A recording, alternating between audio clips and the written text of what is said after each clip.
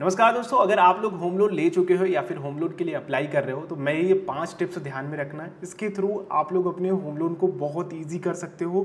साथ ही आप लोग अपने लोन को जल्दी से जल्दी चुका भी सकते हो। और सबसे बड़ी चीज़ कि आप लोगों का लाखों रुपए बचेगा। इस वीडियो को देखने के बाद आप लोगों को एक अलग पॉइंट ऑफ़ व्यू भी मिल जाएगा अपने लोन को चुकाने के लिए। तो चलिए वीडियो को स्टार्ट करते हैं। मैं हूँ रवि, आप सभी का फिर से हमारे और आपके चैनल पर स्वागत करता हूँ। अगर आप लोगों का इंटरेस्ट तरह की वीडियोस में है तो आप लोग चैनल को ज़रूर सब्सक्राइब कीजिएगा और बेल आइकॉन को क्लिक करेंगे तो आने वाली वीडियोस की नोटिफिकेशन आ सकेगी। सबसे पहली चीज़ दोस्तों, कि लोन एक बड़ा अमाउंट होता है, ठीक है? होम लोन की बात करें तो जनरली बीस के ऊपर ही होता है। ठीक है? और लंबा समय भी होता है, एक लंबे समय के लिए हम लोग लोन अप्लाई करते हैं और बैंक भी बोलते हैं कि भैया आप ज़मीन खरीद रहे हो तो ज़मीन तो कहीं जाने वाली नहीं है। एक एड्रेस जो होगा तो वो आप लोगों को लंबा समय दे भी दे देते हैं। तो यहाँ पे प्रॉब्लम क्या आती है कि जितना लंबा समय आप ले जाते हो, उतना ज़्यादा आप लोगों को ब्याज देना पड़ता है, उतनी ज़्यादा आप लोगों को ईएमआई देनी पड़ती है। तो मेरी जो पहली टिप्स रहेगी कि आप लोग अपने होम लोन को जितना कम समय हो सके उतना पे लो। मैं क्या कह रहा हूँ कि हो सके, ये नहीं कि ऑटोमेटिकली भैया हमें इतने साल में ही ख़त्म करना है, ठीक है? तो वो चीज़ें अगर आप करते हो तो कहीं ना कहीं आप लोग एक पंजड़े में फंस जाओगे, आप लोगों की फाइनेंशियल प्लानिंग बेकार हो जाएगी। इसका भी सोल्यूशन मैं आप लोगों को आगे बताता हूँ। अब यहाँ पे देखो कि क्या घाटा होता है आप लोगों को बड़े समय में जाने के लिए और छोटे समय में आप लोगों को क्यों कह रहा हूँ? देखिए, अगर मान लेते हैं कि कोई भी बैंक आप लोगों को पचास लाख का लोन दे रहा है नाइन परसेंट के रेट ऑफ़ इंटरेस्ट पे।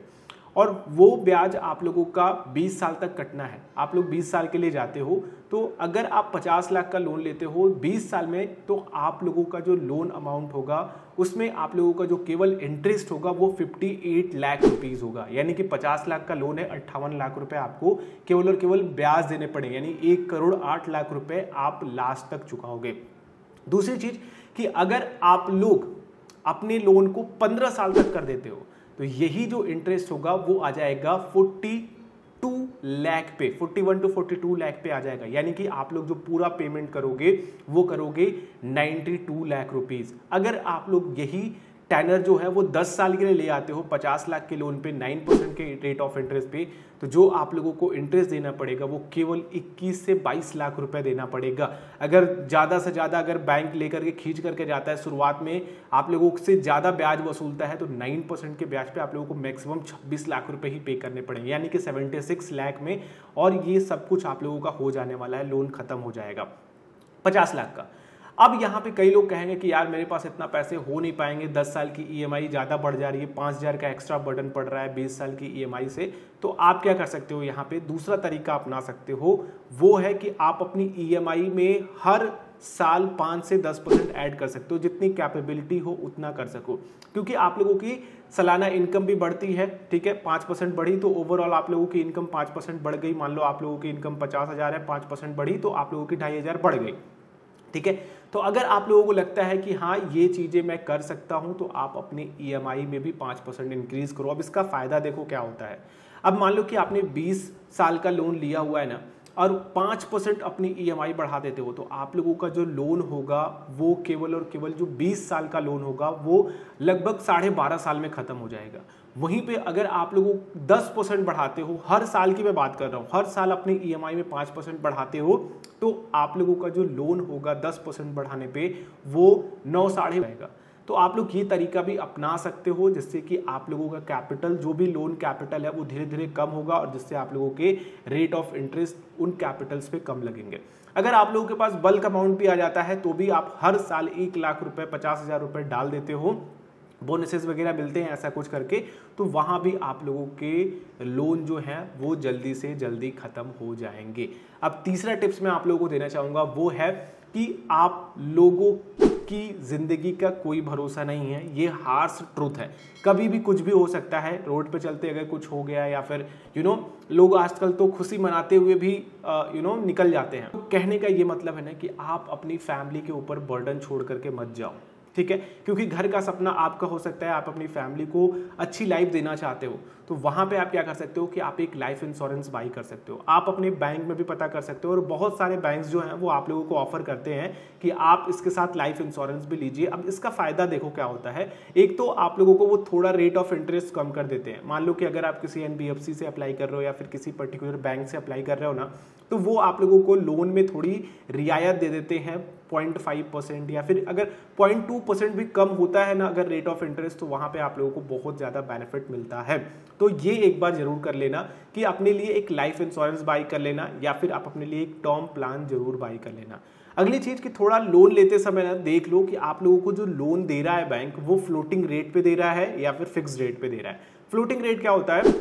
कि जो भी बेंचमार्क रखा गया है, जैसे कि एम था, अभी रेपो रेट को बेंचमार्क मान लिया गया है आरबीआई ने कहा है कि जो भी कस्टमर्स लोन के लिए अप्लाई कर रहे हैं, वो रेपो रेट के अकॉर्डिंग ही आप रेट ऑफ़ इंटरेस्ट डिसाइड करेंगे, जो कि रेपो रेट के ऊपर ही होता है, जो कि दो तीन परसेंट जिस भी तरीके से बैंक का एमसीएलआर मैच हो रहा है रेपो रेट के अकॉर्डिंग उस तरीके से आप लोगों को वो देता है। तो यहाँ पे आप लोग एक बार देख लेना, अगर फ्लोटिंग रेट पे होगा तो आप लोगों की ई जो है वो ऊपर नीचे होती रहेंगी। तो थोड़ा आप लोग अपने देख लेना कि अगर ईएमआई मेरी 500 से हज़ार रुपए बढ़ती हैं तो मेरे फाइनेंशियल पे किसी तरीके की प्रॉब्लम तो नहीं आएगी। तो आप लोग थोड़ा अपने फाइनेंशियल गोल को भी ध्यान में रखना। केवल होम लोन ही चुकाने के चक्कर में इधर सारा मत बर्बाद कर लेना, वरना आप लोगों की रिटायरमेंट प्लानिंग वगैरह सब खराब हो जाएगी। ठीक है? अगली और लास्ट टिप्स मैं आप लोगों को देना चाहूँगा, वो है कि आप लोग अपने रेट ऑफ़ इंटरेस्ट को हर जगह पे चेक करो। ज़रूरी नहीं है, बहुत से लोगों को मैं देखा हूँ कि उनका एसबीआई में खाता है तो वो एसबीआई में ही जाना चाहते हैं। आप दूसरे बैंकों के पास जाओ, आप एच में हो, ज़रूरी है कि एच ही आप लोगों को बेस्ट रेट ऑफ़ इंटरेस्ट दे रहा है। वही ज़रूरी नहीं है। आप लोगों की प्रोसेसिंग फ़ीस भी ज़रूरी है। लोन लेते समय आप लोगों को कितना खर्चा लग रहा है, वो भी कंपैरिजन करना बहुत ज़रूरी है। तो अगर आप लोग होम लोन ले रहे हो तो इन टिप्स का ध्यान रखना। और इतनी बात हो गई है तो एक और एडवांस टिप्स लेते जाओ, जो कि है, आप लोग अपने स्पाउस के साथ घर का सपना देखते हो ना तो अगर आप लोगों के स्पाउस की किसी भी तरह की इनकम है, जैसे कि आपके पति, पत्नी की इनकम है अगर तो आप उनके साथ लोन के लिए अप्लाई करो ज्वाइंट होम लोन के लिए जाओ। इससे दो फ़ायदे होंगे। एक तो आप लोगों के जो इंटरेस्ट होंगे, वो आप लोगों के ऊपर बढ़ जाएँगे, यानी कि आप लोगों की जो ईएमआई होगी, वो डिस्ट्रीब्यूट हो जाएगी और आप लोगों के ऊपर बर्डन नहीं आएगा ज़्यादा। लगेगा नहीं कि यार मेरे ही ऊपर सारा बर्डन है, ठीक है? ये थोड़ा सा एक साइकोलॉजिकल इफ़ेक्ट होता है, जो कि आप दोनों लोग को सुख, शांति मिलेगी। और एक ये भी मन में रहेगा कि चलो हम दोनों लोग कॉन्ट्रीब्यूट करके चीज़ों को ले रहे हैं। भले ही अगर यू you नो know, एक इस तरीके से सोच सकते हो कि चलो हमारी वाइफ या फिर हमारे हस्बैंड हमें उतना पैसा दे देंगे तो उसमें मज़ा नहीं आता ठीक है? एक साइकोलॉजिकल जो इफ़ेक्ट बनता है वो वहाँ पे और बेहतर और बॉन्डिंग अच्छी बनती है। तो आप लोग एक बार जॉइंट होम लोन के लिए जाओ। दूसरा फ़ायदा भी मैं आप लोगों को बता देता हूँ कि अगर आप लोगों को बड़े लोन की ज़रूरत है मान लो कि आप थोड़ा सा कॉम्प्रोमाइज़ कर रहे हो लोकेशन को लेकर के। अगर आप कॉर्नर का प्लॉट लेते हो या फिर अगर आप लोग थोड़ा सा रोड की तरफ़ जाते हो या फिर सिटी के आसपास रहना चाहते हो तो वहाँ पे थोड़े प्लॉट की कीमतें ज़्यादा होती हैं। ठीक है? या फिर कोई अपार्टमेंट बाई करना चाहते हो ग्राउंड फ्लोर पे टॉप फ्लोर पे मिडिल फ्लोर पे तो यू you नो know, वहाँ पे प्राइस थोड़े डिफरेंस होते जाते हैं जैसे आप ऊपर बढ़ते जाते हो जैसे नीचे आते जाते हो। तो वहाँ पे अगर आप लोगों को लगता है कि भैया मैं कॉम्प्रोमाइज़ नहीं करना चाहता हूँ, अपने लिए बेस्ट लोकेशन बाई करना चाहता हूँ, लेकिन मेरे से नहीं हो पा रहा है तो आप लोगों अगर ज्वाइंट होम लोन के लिए अप्लाई करते हो तो आप लोगों का लोन अमाउंट भी बढ़ जाता है। क्योंकि आप लोगों की एलिजिबिलिटी अगर 20-25 लाख की आ रही है लॉगिन करने के बाद, आप लोगों के स्पाउस की एलिजिबिलिटी हो सकता है कि 10 से 15 लाख रुपए आपको एक्स्ट्रा उसमें ऐड करा दे। तो ज्वाइंट होम लोन के बहुत सारे फ़ायदे हैं, आप लोग इसको लेकर के देखिएगा। और सबसे बड़ी चीज़ कि आप लोगों का क्रेडिट स्कोर नहीं खराब होता है और अच्छा क्रेडिट स्कोर हो जाता है। तो ये वीडियो यहीं तक थी। आई होप ये वीडियो आप लोगों के लिए हेल्पफुल रही होगी।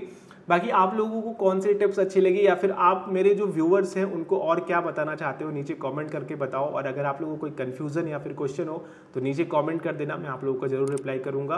बाकी चैनल पर नए हो सब्सक्राइब कर लेना। और इस वीडियो को दूसरों तक भी पहुंचाओ, जिससे कि वो लोग भी अपने होम लोन को जल्दी से जल्दी खत्म कर सके और अपने लाखों रुपए बचा सके।